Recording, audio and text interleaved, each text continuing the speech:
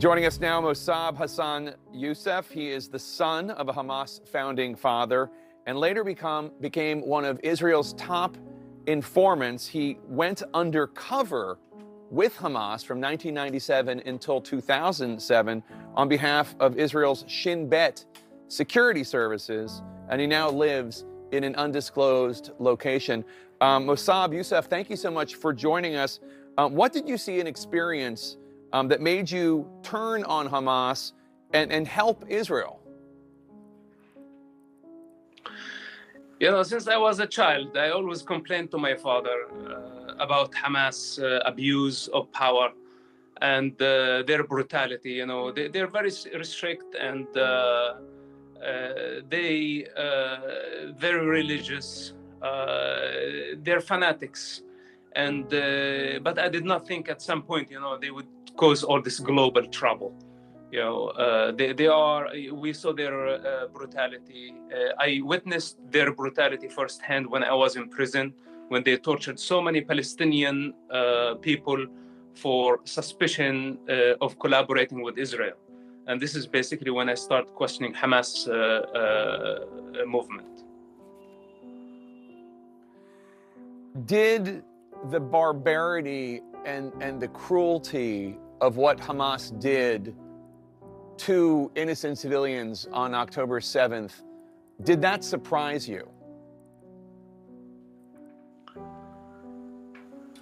Well, you know, they surprised me as they surprised everybody uh, by the scale of the attack. You know, uh, we did not see that coming. But their brutality, the, their nature, it did not surprise me. You know, back in 1996, they killed so many people. They tortured so many people. Our you know prison mates basically uh, people i knew personally uh, they uh, did all type of uh, crazy things you know. Uh, they uh, put needles under people's fingernails you know and I, I witnessed that firsthand. So i'm not surprised to what extent hamas can go uh, but the scale of the attack on October 7th, that was uh, a surprise, I think, for everybody, including Hamas themselves. Were you surprised at the failure of Israeli intelligence on October 7th? Uh, listen, there was a failure, but this is not the time to blame anybody. There, there, uh, there is corruption, there is failure uh, there is lack of leadership, but this is not the time now to blame anybody. This is the time to get unified. You know, the United States need to give Israel the necessary cover to uproot Hamas.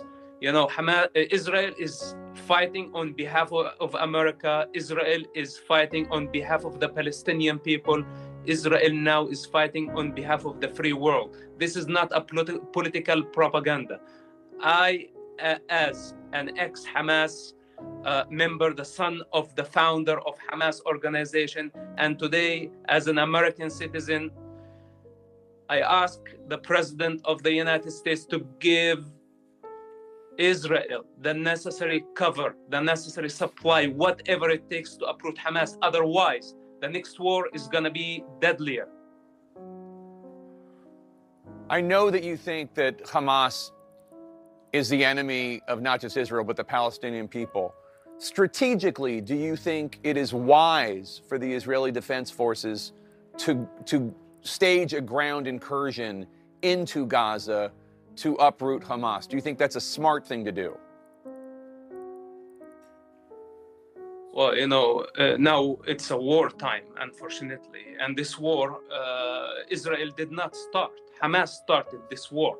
And Hamas, in fact, in this equation, uh, blood for money, they start a war every uh, few years. Whenever they want money, uh, you know, they uh, shed uh, children's blood.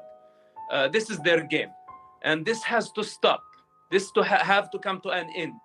And unfortunately, the price is not going to be cheap.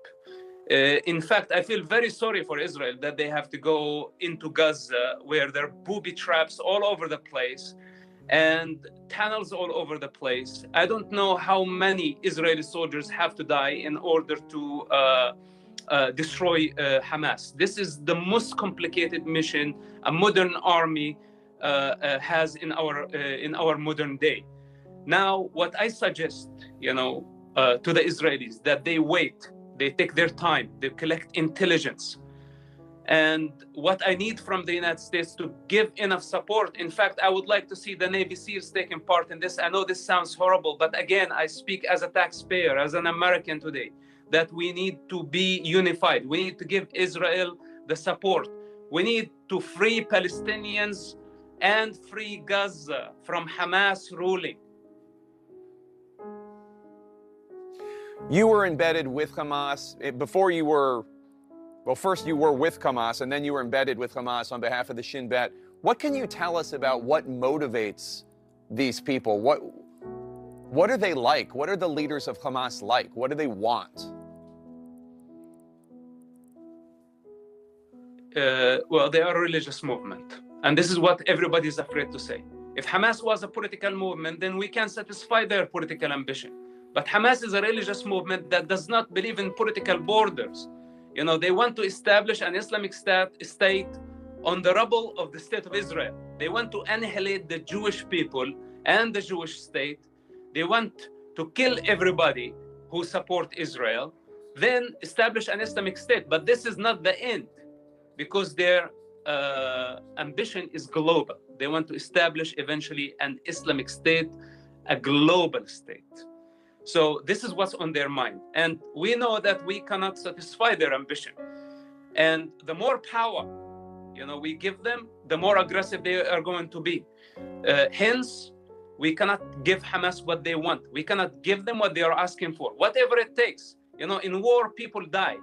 And we need to prepare public you know, I say that this is an ugly war. Israel did not start it, but Israel will end it. So the United States insists that the aid being provided for civilians in Gaza will not go to Hamas. Do you believe that the aid will not go to Hamas? Do you believe that the aid will only go to the innocent Palestinians? you know, the United States and uh, Europe um, have been very generous with the Palestinian people, but their leadership steal the money all the time. They steal the aid. Uh, so much aid came into Gaza. Hamas used all that aid to build tunnels under the ground. And now look at the chaos they are creating. The aid is great, but not right now. I suggest that we open the border for the Palestinian innocent people, including women, children, and elders, to leave the Gaza Strip or to go into a safe zone. Uh, in the meantime, we have to enforce unbreachable siege on Hamas. Otherwise, we, we are not able to deplete them. They are under the ground, they have hostages. We have to cut power. We cannot give them food, we cannot give them water. And we have to deplete them for long weeks before we can even go in. You know otherwise we cannot win this war against this brutal enemy enemy of humanity. Mosab Yousef thank you so much for your time. Really really appreciate your insights. You're welcome. Thank you. Thank you for having me